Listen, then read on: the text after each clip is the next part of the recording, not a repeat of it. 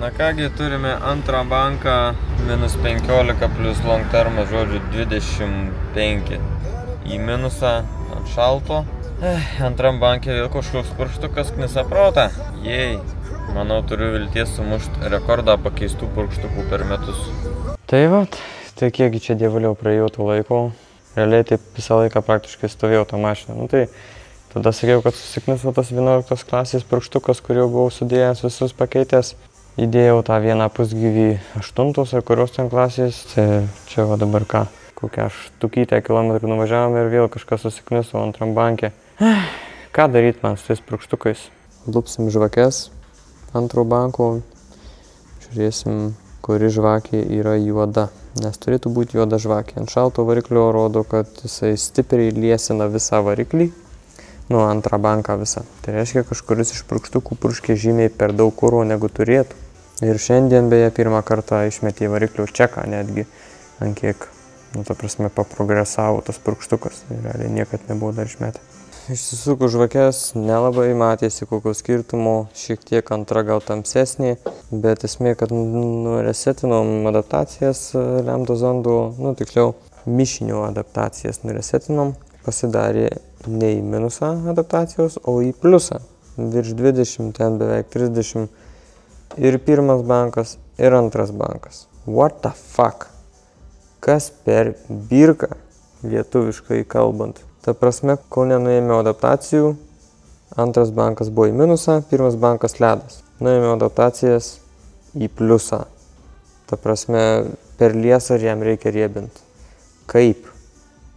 Kaip? Na ir šiandien atėjus šaltą užkūrus, jis jau darosi adaptaciją, kuri buvo ir tikėtasi. Į minusą 20 su virš, čia dabar vos vos dar pašilės, nes jau buvau užkūręs prieš tai.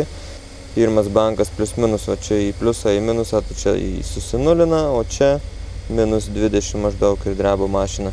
Bent jau grįžom prie to pačio sutarimo, kad kažkas antram bankė. Yes. O, yes. Turim suknistą juodą žvakę. Tai reiškia, kad antras cilindras. Tai tas antram cilindrai įkištas yra aštuntos klasės, kur, žodžiu, čia pažymėjęs buvau, kad liesa, nors jisai dabar kaip tik riebų pasidarė. Aišku, jo, yra kai kurie, kur užsiriebina kaip pašyla, tai ten vis būna tragedija. Šitas, kol šaltas yra šiuo atveju per riebus, greičiausiai myža tiesiog jisai, neužsidaro, o kai pašyla kaip ir viskas ok. Ką žinau, nu tipo, negavau purkštuko po postinės posto, nieks kažkaip nepasiūlė, tai vienas tik tais Jonavoj ten, kur buvau paėmęs, kur visiškai keuras ir purškė belė kaip, kaip matėm praeitam video. Tai jisai man siūlo jį antrą kartą, nors aš parašiau postą, kad man reikia gero purkštuko. Tai žodžiu, tokie žmonės, tai wow. Tai jo, dedam iš savo kolekcijos kokį nors dar kitą. Šitą reikia pasižymėti nežinau, kad jau jam pizda. Žodžiu, čia jie visi, aišku, yra šrotas. Šiaip labai norėčiau aš pasidaryti purkštukų testavimo stendą. Tai aš puikiai žinau, kaip jisai turėtų veikti, tik tai, kad jam reikia biškai dalykų. Tai principė šitiem purkštukam yra labai svarbu ištestuoti prie, tarkim, minuso, minusinės temperatūros, kaip jie purškia kurą kokį kiekį gali išpurkšti ir kaip leidžia, neleidžia ten tas, nu, tiesiog purkštukas, kol jis nepurškia.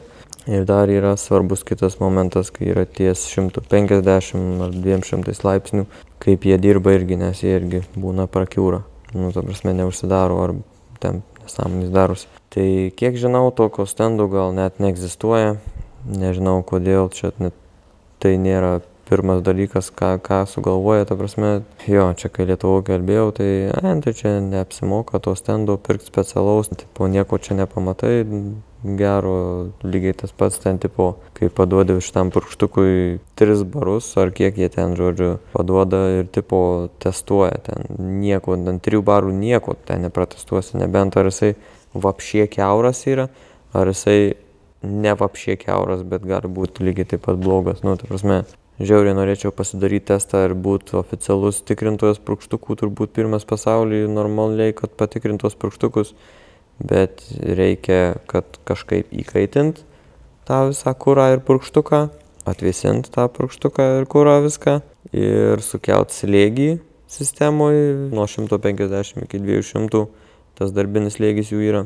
Ir dar vienas dalykas paduot signalą, ten kiek ten tų voltų, virš 100 voltų, man atrodo, signalas eina į purkštukus, kad juos paleist. Tai tokios yra problemėlės, kurios visos jos sprendžiasi nepaprastai ir užknisa iš tikrųjų, nes nu, niekas daugiau turbūt neturi Lietuvoje ir gal net pasaulyje susikonstravę tokio principo stendų šitiem purkštukam, o be tokio protestavimo jų ir neprotestuosi. Tik tai vieną kažkokią charakteristiką. Gali tu jį paleisti ant aukšto slėgio kambario temperatūrų ir tu pamatysi, kaip jisai ale šaltas, kaip dirba. Nu, tipo va tokio oro. O kai prie minuso jisai gali ten vėl varyti ten belė kokį neužsidaryti ir piltą kurą. Arba prie pliuso lygiai taip pat gali jisai atsidaryti ir piltą kurą pro šoną. Nu, žodžiu. Bet yra kaip yra, tai kišam purkštuką tą kažkokį vieną ir žiūrim, kaip jisai yra blogas ir tada žiūrėsim kitą. Beje, kol čia prirašinėjau tą purkštuką, tai tą tepalo slėgio reguliatorių, kur keičiau, pakeičiau ir kaip ir išsisprendė, dabar jokių klaidų iki šiol nebuvo, aišku, nebuvo baisiai daug ten pravažiuota tų kilometrų, nu, bet nebuvo jokios klaidos iki šiol su tepalo slėgiu, panašu, kad išsisprendė. Pririšom purkštuką, viskas supranti, dabar va matosi korekcijos tvarkingos, čia pirmo banko irgi aišku viskas, pirmas nieks nesikeitė.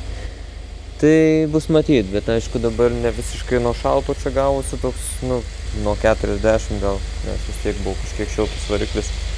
Tai bus matyt sekantį kartą ir bus matyt dabar kai pilnai pašils ar tas purkštukas mūsų nepradės myžti bet užknisa ant karšto dėt nes verda kuras atsuki vamzdelį purškia ten visą gyvenimą ir principe stebim čia ar antro banko neina į kosmosą korekcijos. Jau pradeda vykti kažkokia nesąmonė, antram bankė pliusinasi jisai, kažkas yra jam liesa. Ar taip gali būti, nežinau.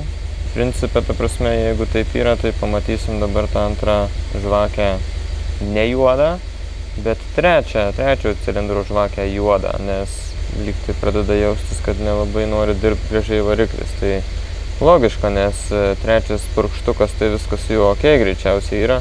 O antras jeigu jisai per mažai kuro duoda riebina riebina ir gaunasi kad jau trečiam per riebų o antras tiktais dar lipa į savo vietą. Panašu kad mesim lauk turbūt tą purkštuką irgi. Na va įmetėm kitą kažkokį purkštuką ir matom kad jisai dabar jau į pliusą darosi.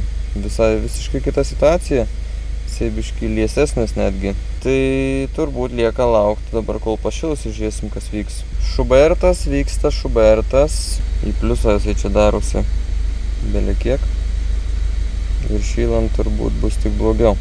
Turime dar vieną purkštuką pakeistą, suvestas kodukas, ką jisai mums parodys, tai vėlgi adaptaciją reikia nuimti. Tai aišku, 26 procentai šaunuoliškai.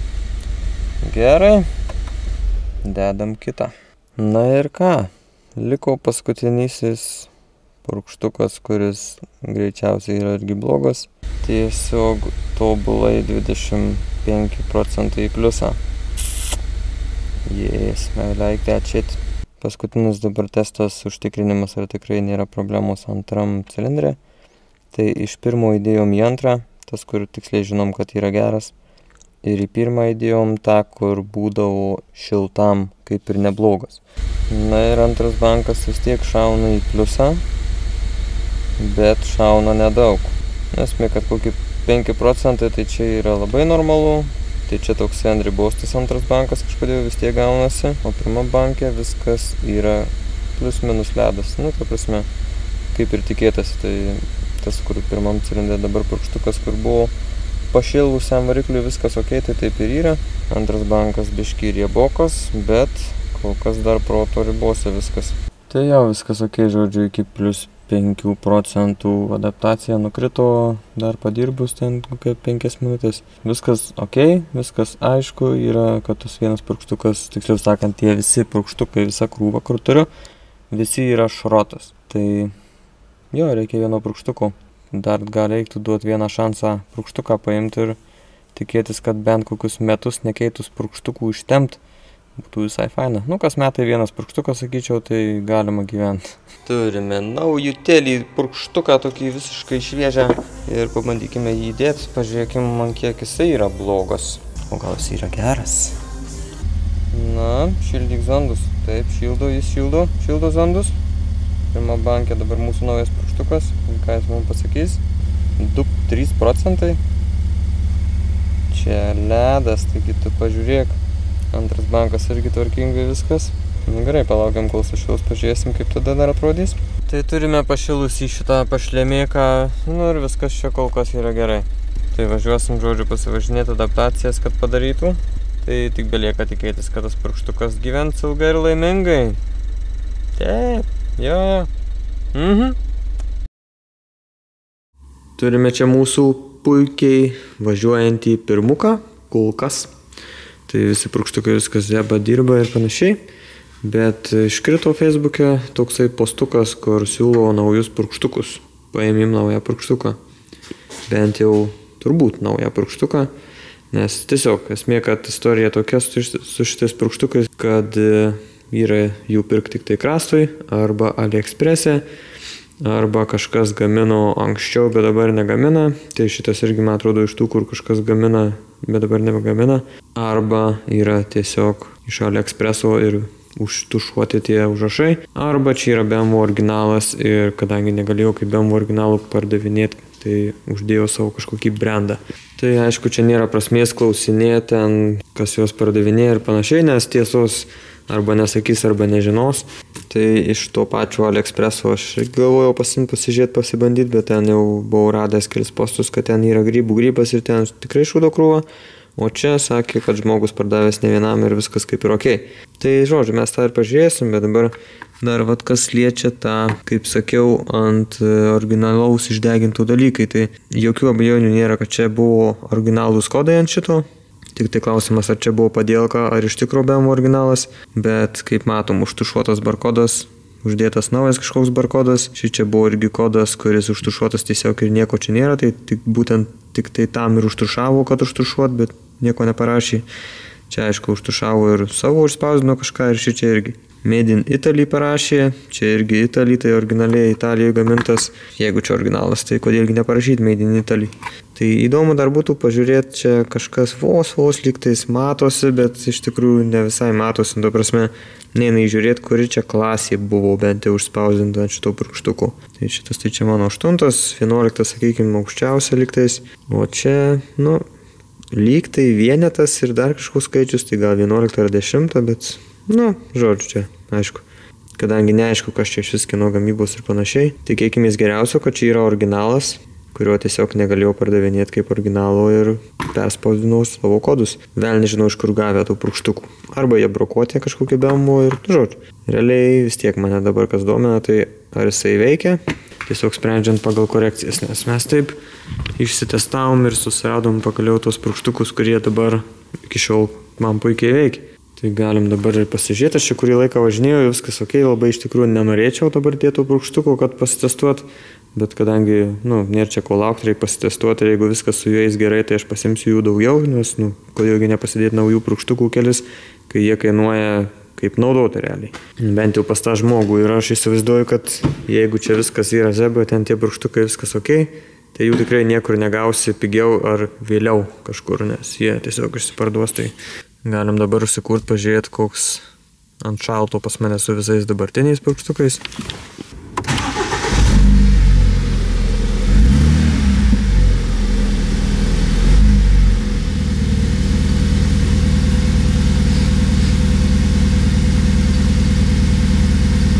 Hm, degimą pasidaręs minusinį dabar variklis, kad degintų dar kūro dalį išmetime, kad pašildytų greičiau katalizatorius.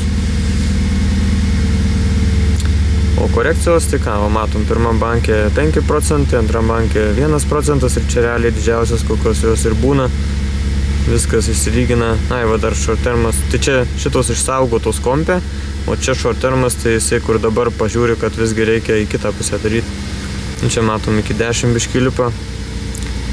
Bet e, atėmus iš ten tų, ten dabar, nu, žodžiu, vėl viskas įsilygina realiai.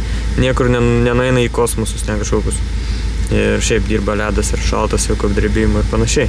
Tai dabar ką, nu, tiesiog dėsim naują tą prūkštuką ir pažiūrėsim kaip kas. Dar reikės nuresetinti adaptacijas, nes dabar kompas yra kiekvienam prūkštukui individualiai adaptavęsis realiai netgi jeigu ir purkštukas nėra idealus, ten grybą jisai biški pjauna, bet per laiką kompas adaptuojasi prie to purkštuko. Čia būtent su šitais varikliais. Bus tik tai vienas purkštukas naujas, ketvirtam bus senas, bet kadangi žinom, kad viskas dabar gerai, tai turi būti su šitu taip pat arba dar geriau.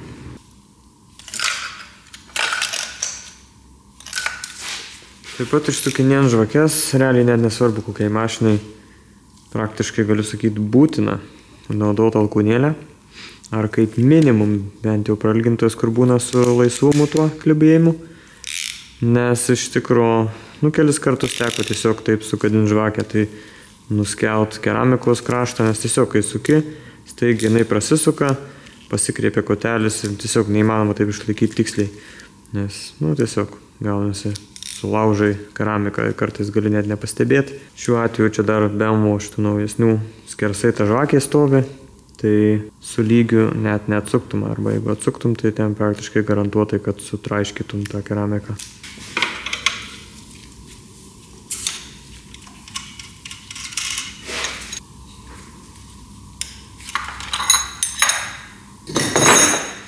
Toks įdomus svarbus visai dalykas, čia kai atsukinėjom, tai pirmiau aš visada atsuku aukščiau, kad nepribėgtų čia benzo, reiškia, kad visas išsipurkštų jisai čia kažkur.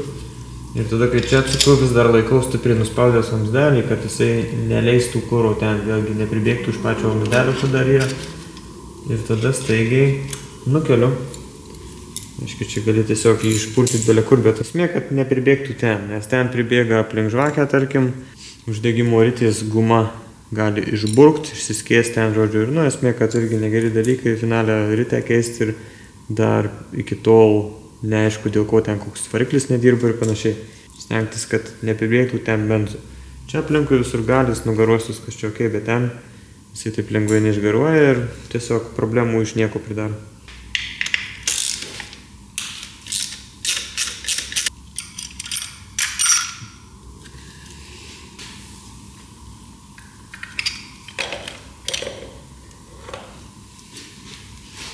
Na ir pažiūrim, ką mes čia turim.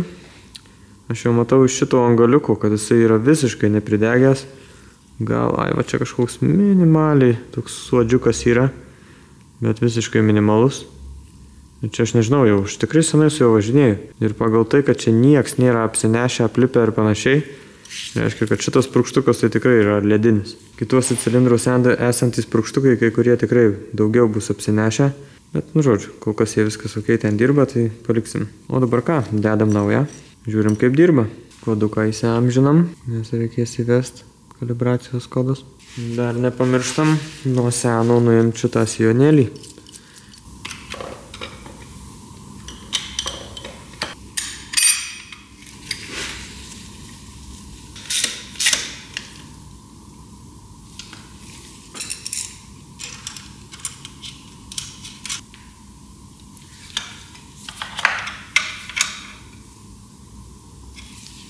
Tai va turim čia impą, einam į adaptacijas, antras adaptacijų langas ir šį čia mes turime, tai dabar reikia dar pririšti mūsų purkštuką naują. Tai einam atgal, tada man atrodo system ir turbūt, kad shift F4. Čia mes turim mūsų suvestus purkštukus, jų kalibracijų kodus. Čia dar yra per input durnai keturiem cilindram sumaišyti cilindrai pirmas, trečias, penktas ir šeštas. Nors iš tikrųjų keturi cilindrai čia. Kaip suprast, kur kuris? Tai pirmas purkštukas, kur rašo, tai yra pirmas purkštukas. Trečias purkštukas, kur rašo, yra ketvirtas cilindras. Penktas purkštukas, kur rašo, yra trečias cilindras. Ir šeštas yra antras cilindras. Tai žodžiu, mes pirmą keičiam, tai ir vedam pirmą. F1 mūsų pirmą pakeis. Ir mūsų naujo purkštuko kalibracijos kodas yra 566231. Tai kadangi čia yra milidžiauliai ar kas čia miligramai lelele, tai čia būtent inpui reikia surašyti tiksliai pagal matmenį, ne tai kad belė. Tai tas 566 mums pavirsta į 56.6. O antras skaičiukas turim 231, tai yra 2 taškas 3, 1. okiukas, susivedė. Čia jisai pasikoregavo dar ten pagal save žodžiu biškitą skaičių, tai nekreipėm dėmesio, čia viskas yra ok. Čia išsisaugojo, nieko nereikia daugiau daryti. Einam atgal, galim išjungti ir jungti degimą dėl viso pikto ir dabar stebėsim korekcijas. Tai iš tikrųjų, kai resetinė korekcijas dar aš pastebėjęs, kad jisai dažnai būna iš karto jų nedaro. Gerai, žiūrim, ką turim. Koks pirmas startas.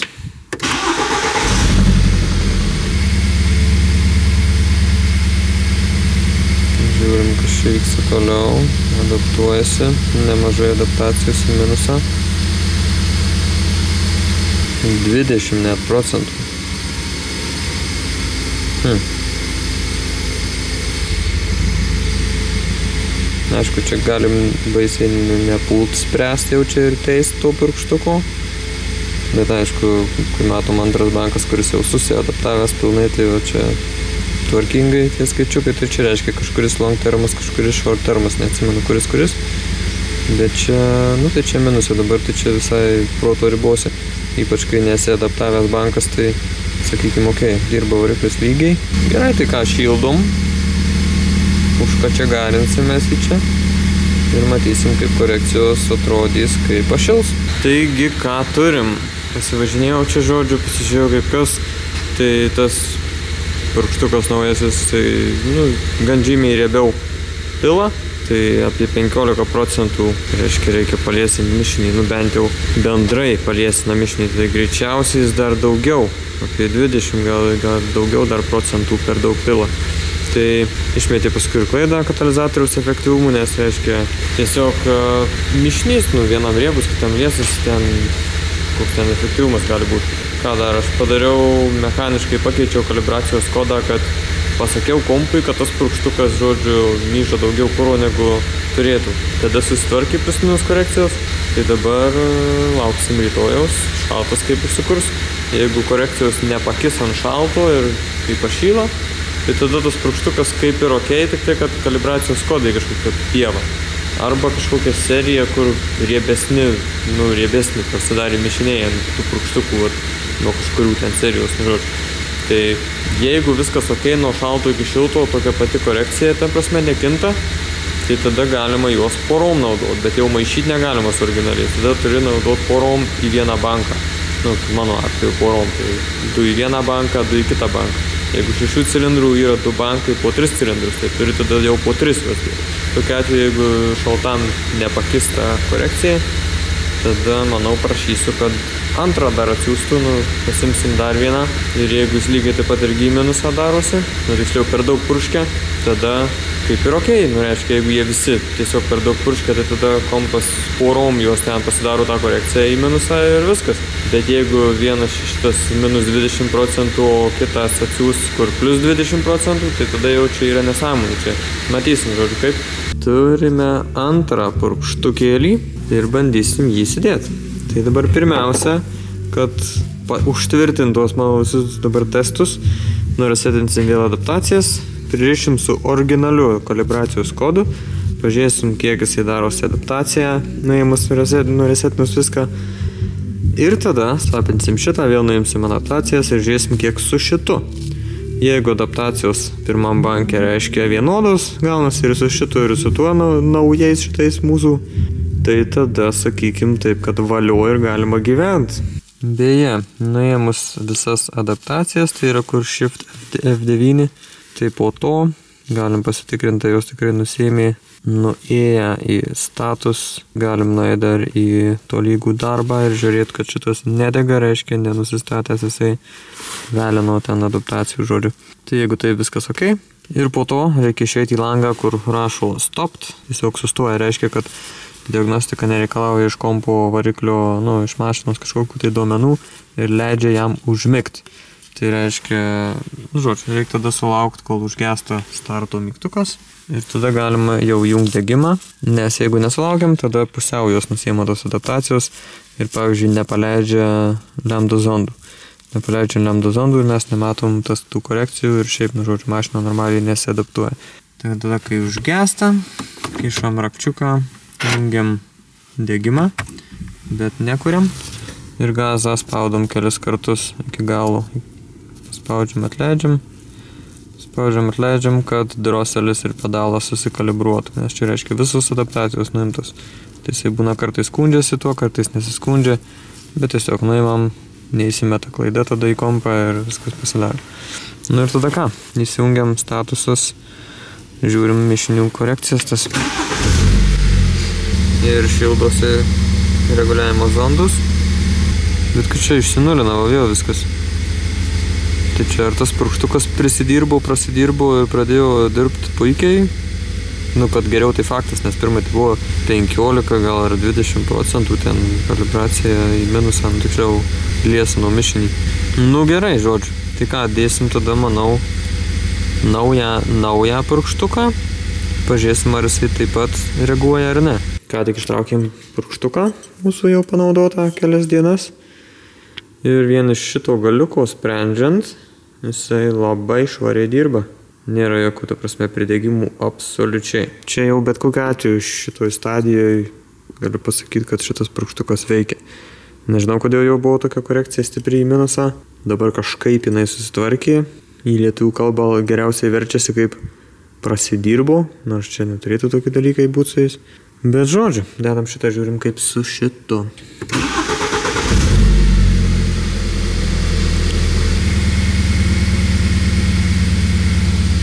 Mhm. Į minusą irgi darosi nemažai. Kas toliau? Kol kas labai panaši situacija, kai buvo tas pirmasis naujas prūkštukas, kai darėsi į minusą vat, 20 realiai. Bet į minusą darosi, reiškia labai panašiai, kaip ir anas buvo. Tai manau, kad nekaitinam čia to variklio labai, kaip yra ta korekcija aiški. Ir aš, sakykime, pasitikiu, kad jisai pašilęs irgi panašiai dirbs. Ir dabar vėl nuresetinam adaptacijas. Gražinsim į pirmą cilindrą mano seną pirkštuką. Ir dabar, kadangi turim naujus du, tai tuos naujus du sudėsim į antrą banką. Tai reiškia į antrą ir trečią cilindrus.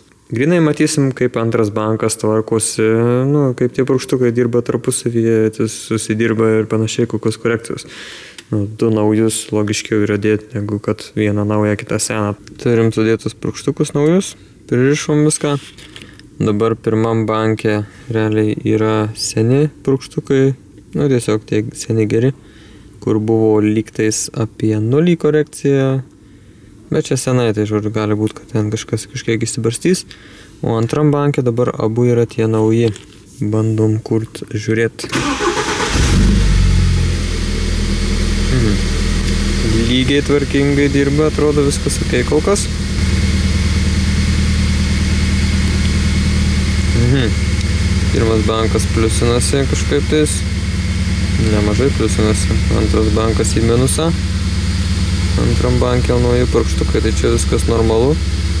Čia, nu, aišku, jisai kol kas dar čia nesusiprato, nesusigaudė normaliai, kaip čia kas dirbs. O čia tai, sakykime, ale mes to ir tikėjomės, kad čia bus minusas. Tai ką, verdiktas beveik galutinis su purkštukais dar reiks pasivažinėt pastebėt kaip ta korekcija ar jinai mažėja to antrojo purkštuko nes dabar vis tiek dar biškį likę bet po biškį jinai mažėja. Žvakes išsisukom tai viskas visos čia jos vienodai dirba. Pirmas biškį atrodo gal liesiau dirba o antras trečias kas yra antras bankas tai labai vienodai čia dirba. Panašu kad viskas gerai su tais purkštukais kažkodėl jie taip įdomiai iš pradžių biškį per daug kuro pila ir jo reikės turbūt pasiimt tų purkštukų papildomai normaliai. Nors kiek jau klausiau, tai buvo tik 9 likę, dabar jau nežinau kiek jų likę. Tai pavyko dar 7 vienetus paimti, nu, kurie buvo likę paskutiniai. Pagalvojau, pasimsiu, tai bent jau vieną dalyką galima bus pamiršti su tais purkštukais. Nu, bent jau taip atrodo, kad čia jie nauji ir viskas su jais gerai. Tai šeši vienetai gaunasi lygiai tokie patys ten. Ir dar vieną jisai turėjo irgi su tai, tokiais pačiais kamštukais. Viskas identiškai, tik tai, kad kodai originalūs, nėra jie užtušuoti, nutrinti, uždeginti, bet jie likę, nu, tiesiog originalūs kodai. Tai kaip ir originalus prūkštukas gal, arba ten, nu, žodžiu, toks įdomesnis variantas. Nežinau, netestavau aš kaip čia kas dirba, bet tarkim, čia yra originalus prūkštukas. Tai kadangi kamštukai irgi identiški visi viskas, Tai gal jie ir visi originalūs, tik tai, kad čia taip pervardinti. Nu, žodžiu, Tai turim septynis naujus, visų čia man greičiausiai pačiam tikrai nereikės, bet kažkam gal įdėsiu, kažkam gal parduosiu, jeigu reikės. Ir dar turim du dabar gerus dar senuosius 11 klasės. Tai dabar susidėjęs aš ten du naujus į antrą banką ir du seni likę. Tai taip ir važinėsim, kol viskas bus gerai.